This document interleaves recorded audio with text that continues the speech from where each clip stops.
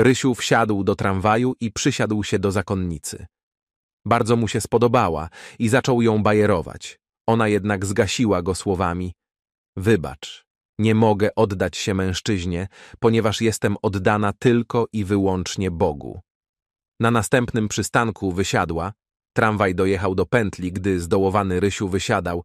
Tramwajarz zaczepił go mówiąc: Słuchaj, mogę ci powiedzieć o tej zakonnicy coś, co cię zainteresuje.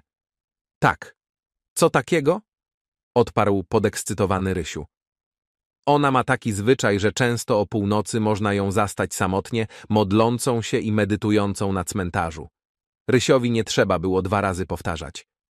Ubrał się w białą szatę, którą pomalował odblaskową farbą, przykleił sobie sztuczną brodę i o północy wyruszył na cmentarz. Było ciemno, ale dostrzegł kształty klęczącej zakonnicy. To ja Bóg, rzekł. Twoje modły zostały wysłuchane. Wybrałem ciebie i chcę, żebyś mi się oddała. Och, panie, dobrze, odparła zakonnica.